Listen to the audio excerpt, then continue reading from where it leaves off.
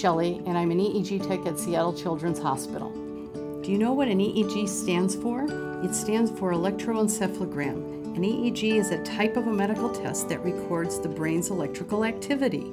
This activity is sometimes referred to as brain waves or patterns.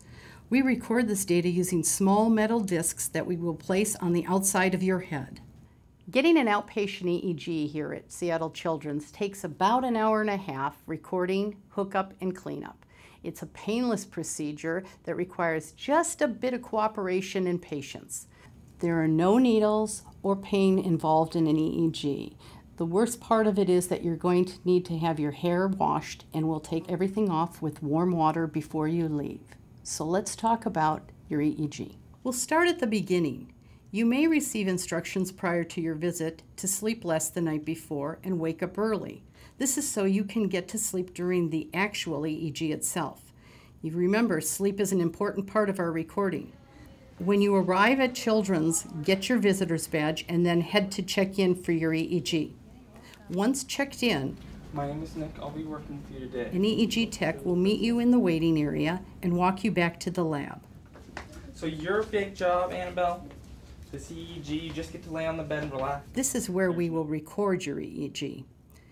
We only have the patient and one parent or guardian in the lab at a time. So choose who you would like to have with you and let's get started and let both you and mom or dad get settled for the EEG. It is important that you lay down on the bed on your back through the entire hookup, which may take up to 20 minutes or more. The actual EEG will run for 40 minutes. We want you to be still and relaxed for the whole test. Remember, EEGs require a little patience and cooperation. To start, the tech will measure and mark your head with a washable marker. These spots are where our electrodes will be placed. The tech may ask you to turn your head from side to side so that all the marks go in the correct places. Next, each of those marks needs to be cleaned off using a mild scratchy soap. We do this so that we can have a nice clear recording. In other words, to collect just the information we want to collect. After your technologist has finished prepping all of the marks, they will apply the electrodes. To do this, we use a sticky salt-based paste that does two things. First, it is conductive. This means that it helps the electrodes record the signals from your brain. And second, it also makes sure the electrodes stay in place during the recording. This is a simple part of the EEG hookup with just a quick squish of the electrode onto your head and a soft cotton ball covering for some extra protection. But you will still need to lay still on the bed because if you tried to get up at this point, all of the electrodes would fall off. Once everything is on and the recording is started, parents may hold their children in their laps, so long as the electrodes stay intact. With some patients, cooperation for an outpatient hookup is more difficult. Kids under the age of five may have this very common reaction to the hookup process. They do not understand what is being asked of them and may become upset and struggle. In these cases, a patient can be held still for the hookup or even swaddled for the electrode measurement and placement if need be. Over the age of five, we cannot restrain or hold patients down. In these cases, maybe a different type of EEG would be more appropriate for your child.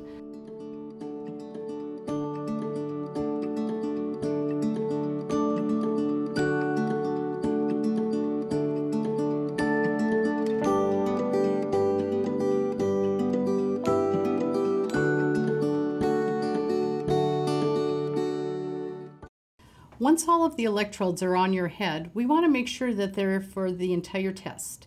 We will wrap your head with a gauze wrap so you don't have to worry about them coming off when you fall asleep.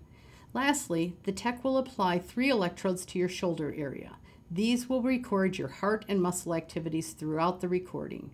We are now ready to start. During your EEG, it is important that you stay calm, relaxed, and as still as possible. This is important so that the recording is clean and interpretable for the doctor or epileptologist who will read the study. Sometimes your tech may ask you to relax or lay still if you are moving too much to get an accurate recording. During the EEG recording, the tech will have you perform some activities that help us in collecting as much data as possible. These activities are known as activation exercises and consist of a series of flashing lights called photic and a deep breathing exercise. After these activation exercises, it is time for one of the most important parts of your EEG, the sleep portion. To make it as easy as possible for you to sleep, the tech will get you a pillow and a blanket and turn off the lights in the room. We will stay in the room with you the entire time if you need anything. Once the sleep portion of the test is complete, it's time to turn on the lights, wake you up, and end the recording. After the EEG is complete, the tech will get you all cleaned up with some warm water and then dry your hair off and send you on your way. The tech will also provide you with a post EEG information sheet that has answers to frequently asked questions, including how you will receive the results of your EEG.